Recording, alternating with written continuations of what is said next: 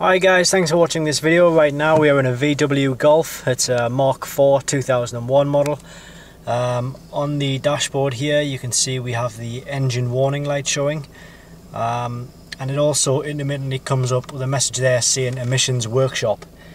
Um, so what we're going to do is uh, diagnose the fault with the Autel GS500 kit which is available just by clicking the link below this video. Uh, but it will diagnose a Mark IV Golf, uh, Golf um, if you have the check engine or EML light on. Okay, so first of all, we'll just click into diagnostics.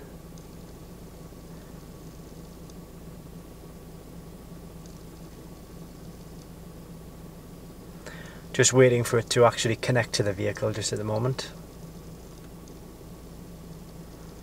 Okay, so it's telling us mil status is on and we have one code found. So we'll go in and we'll just read codes stored code. Uh, it's telling us we have code P0420, uh, catalyst system efficiency below threshold, bank 1. Um, so that tells me, um, it, well it looks like it's a problem with the uh, one of the O2 sensors, so we'll have to go and check that out. Um, I can I would imagine though once we've changed the O2 sensor over we can come back in the vehicle uh, erase the fault code and the engine warning light will disappear from the dashboard. So if you are interested in this GS500 kit uh, just click the link directly below this video and it will take you to the page on our website. Thank you.